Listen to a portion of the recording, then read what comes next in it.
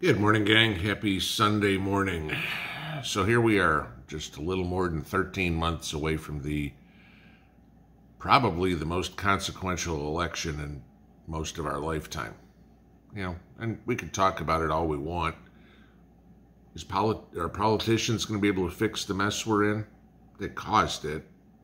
Probably not going to be able to solve it. I mean, we've gone off the cliff. And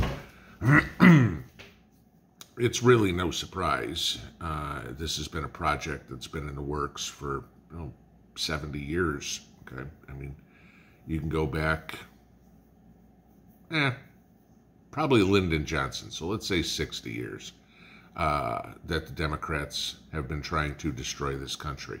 I mean, you, you go back and you remember the old quote from the Soviet Union that eventually the United States would wind up a communist country and they wouldn't even realize it. We're realizing it, but that's what's going on.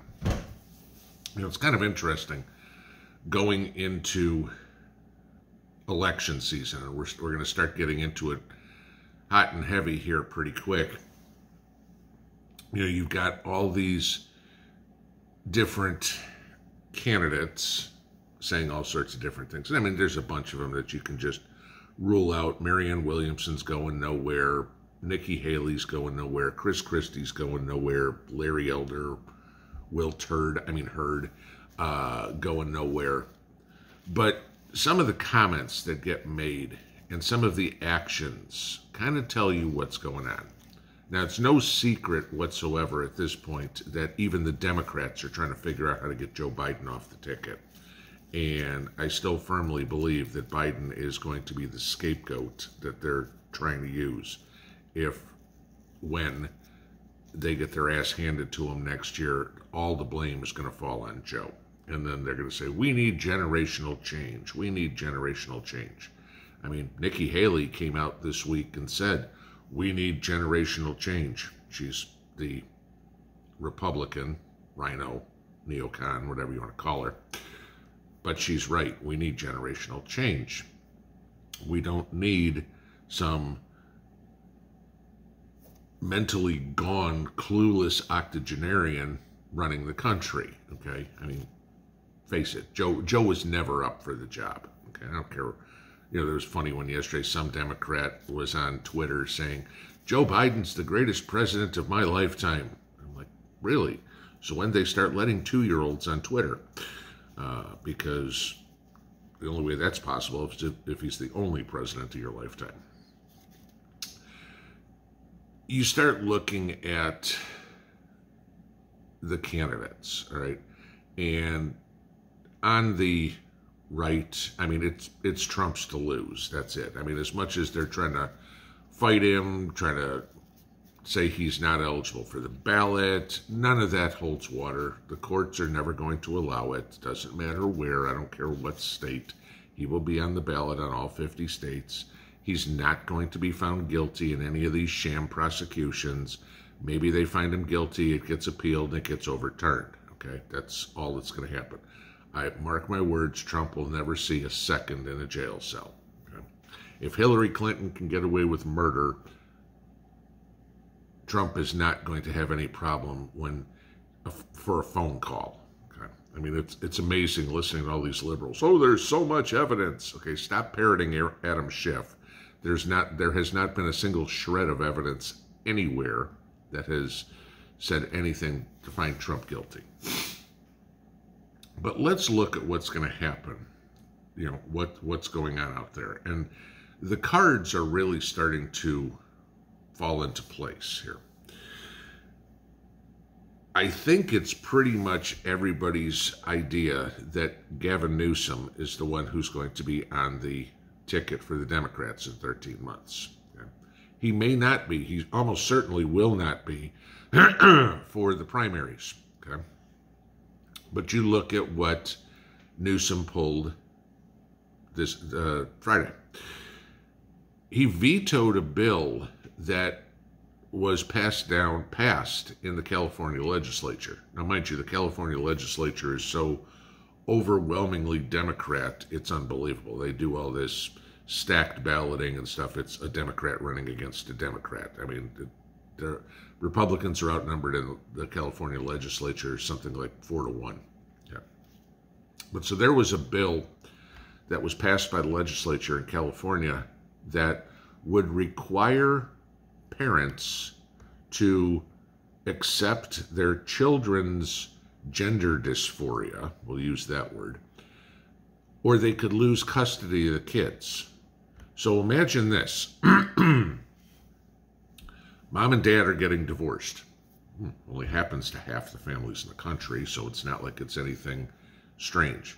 There's kids involved, so there's a custody battle. And little Joey wants to be little Julie. He's four, you know. He wants to play with Barbies instead of G.I. Joes. And mom thinks, oh, this is so cute. I always wanted a girl, yada, yada, yada. I'm going to put him in a dress and everything. Dad's like, hell no, that's my little boy. He's, you're not doing that.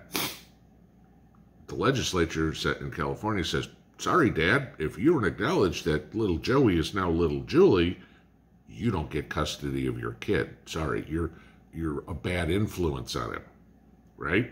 Okay. you think this is right down the middle for Gavin Newsom, right? You know, hey, you know, every idiotic liberal thing he can come up with, he supports. He vetoed this. Why? He's trying to portray himself as a moderate. Okay. The Democrats are panicked about RFK, who is more of a moderate Democrat.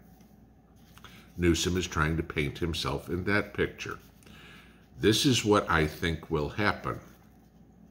Joe will be on the primary ballots all across the country. I mean, Nevada, you have to, I think it's October 10th, you know, so two and a half weeks away, uh, that you have to register to be on the ballot. I mean, we're there, guys. It's the beginning of election season.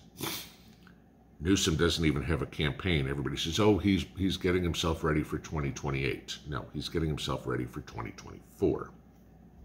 Because what'll happen is Joe will go through the primaries. Joe will get enough votes to get the Democrat nomination.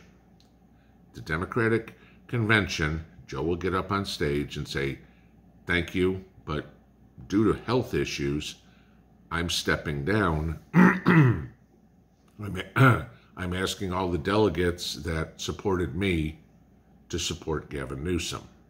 And that's perfectly legitimate under the DNC rules. so now we have an election that is Gavin Newsom, next generation, against Donald Trump. Polar opposites. Newsom will do, hate this morning. Newsom will do like every other Democrat. He will shift to the middle for the election, and then as soon as he sits down in the Oval Office, he'll go far left. I mean, that was Barack Obama, that was Bill Clinton, that was certainly Joe Biden. This is the way they do things, okay? They lie to the constituency, get the vote, and then do exactly the opposite of what they said they were going to. I've said a million times, hey, black community, please tell me what a Democrat has ever promised you that they've delivered on. You can't find any, okay, because there aren't any. You're in no better shape than you were in the 1960s when Lyndon Johnson said, I'll have every one of these N words voting Democrat for the next hundred years. Okay. He was pretty right. But you look at the big thing that the Democrats are doing.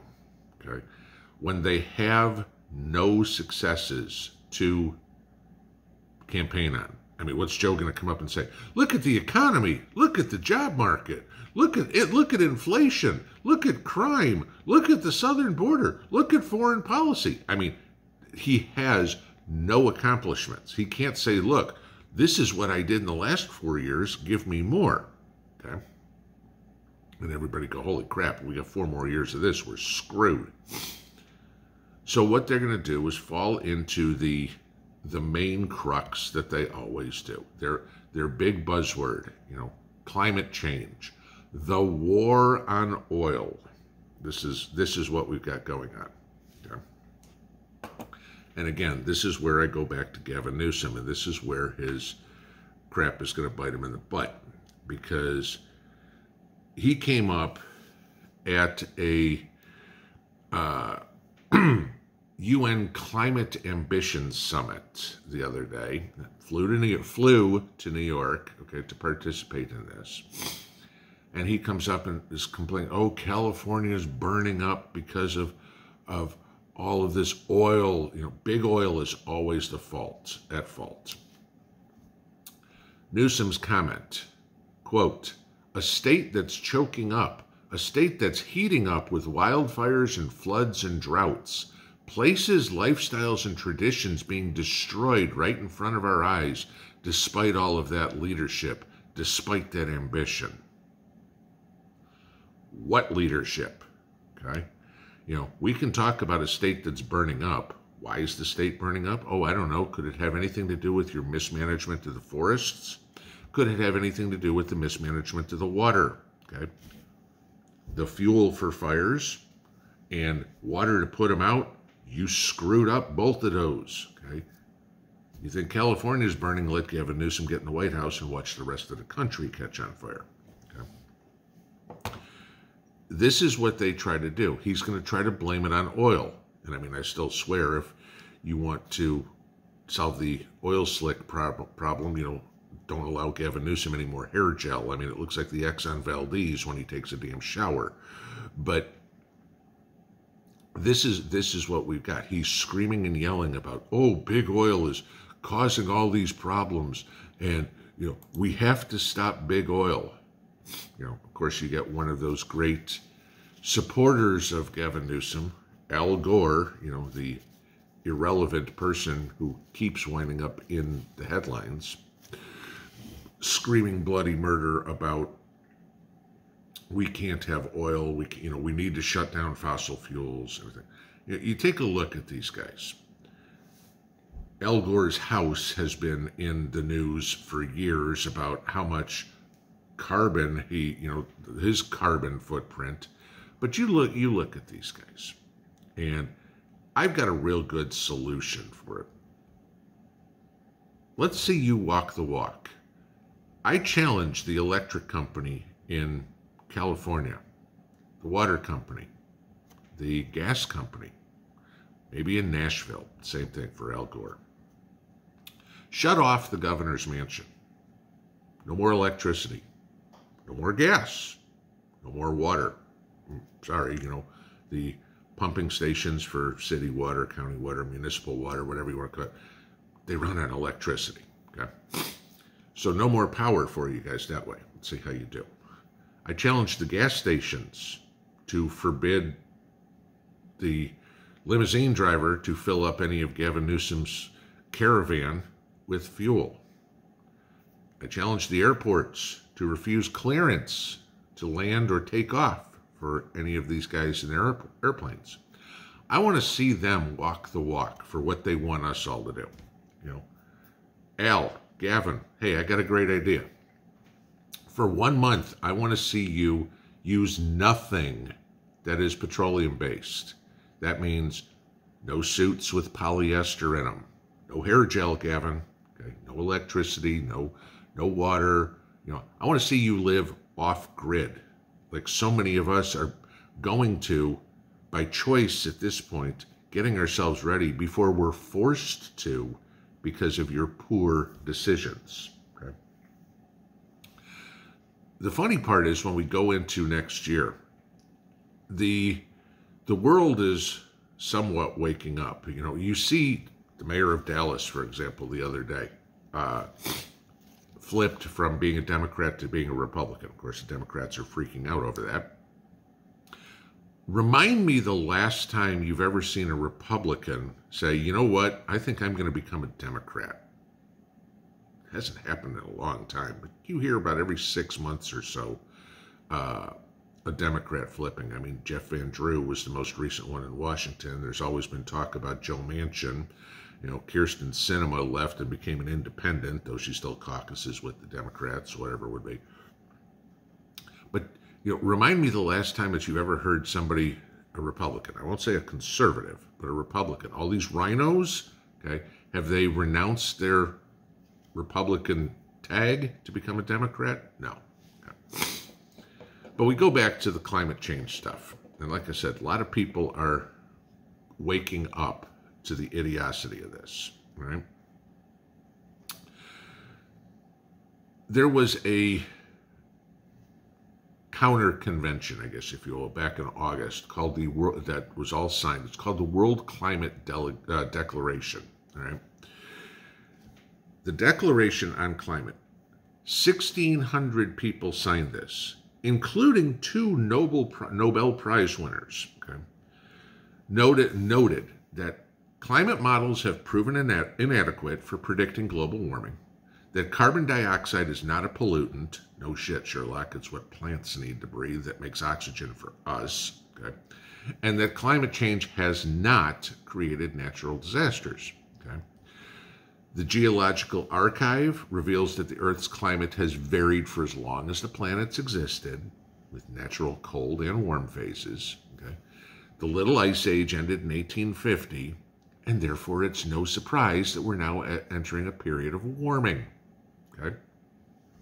These are scientists, not astrologists, okay? Not pseudoscience, not the same people that believe the science that Dr. Fauci peddled, not the same people that believe the science that boys can be girls, okay? These are people that believe actual science. You know, that, that one thing that really strays from a Democrat's thought process, facts, okay?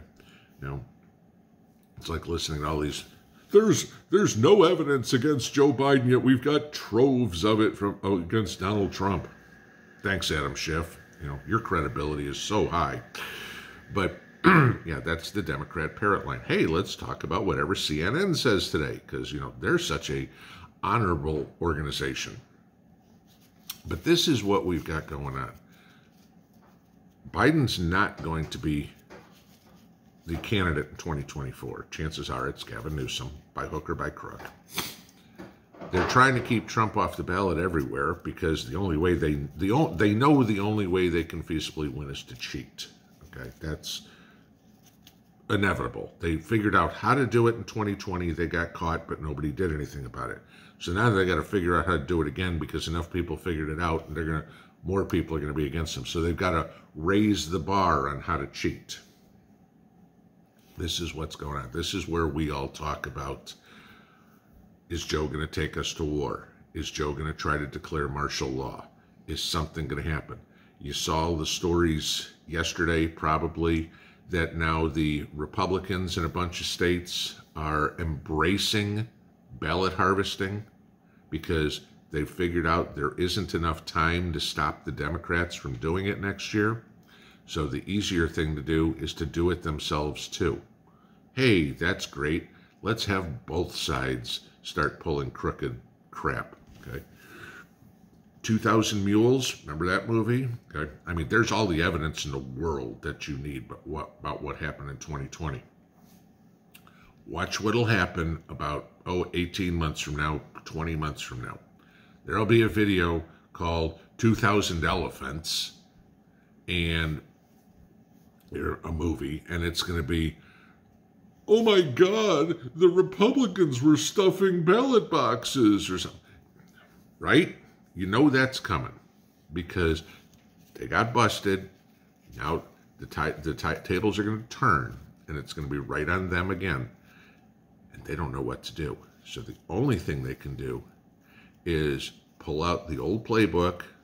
You know, again, let's go after big oil Let's call everybody racists. I mean, look at the the kid who ran over the retired cop in Nevada, right? Anybody catch this one? Hispanic kid. Hispanic kid and a black kid were the two kids who stole this car and ran over the white cop, right? To cook the books on crime, when they booked the Hispanic kid, they marked him as white. If you look at this kid, I mean, he is Hispanic till the day is long. Nothing wrong with being Hispanic whatsoever. But now this will be in the books as white on white crime. even though it wasn't. But all those statistics that you see all the time of crime, that tells you exactly how it, how it is. They're cooking the books on the crime figures. There's nothing that comes out of government that anybody trusts. We are probably at the lowest level of trust of government in the history of the United States, my guess. I mean, we've got we've got a Congress that can't get above into double digits on approval. I mean, Congress sits around eight or nine percent in approval. Okay, it means ninety percent of the people do not approve of the job Congress is doing collectively, both sides. Okay, Biden can barely keep himself above forty percent, so that means even though he got more votes than anybody else in the history of elections, you know, because there were 135 million people that were registered to vote, and we had 151 million votes. Okay. Funny how that works. But yet, six in 10 people in this country don't approve of the job he's doing. Okay. If six in 10 don't approve of you, all six in 10 of those people better not vote for him. That means Joe gets 40%. That means Joe ain't coming back. Yet we still have all this crazy stuff. And the, the people that are following behind Joe are worse. You know, Ted Cruz came out this week and said quietly the Democrats are trying to line up Michelle Obama as president. I mean, at that point, guys, move to Cuba, move to North Korea. You'll have a better quality of life. Okay. I mean, you want the final nail in the coffin. Let him, her, whatever you want to call it, be in charge because that would just be Barry's fourth term. It's just, it's insane, but keep an eye on it. Watch what's going on because they're coming for it all. They're coming for your guns. They're coming for your free speech. They're coming for your religion. They're coming for your oil. Everything. They are hell bent on putting us back into the 1800s. Fortunately, you and me are one step ahead of them. But there's 97 some odd percent of the country who's up shit creek without a paddle. And it's going to be our responsibility to lead those people to put this country back together. You may not want the job, but you're probably just going to be thrust into it. Roll out.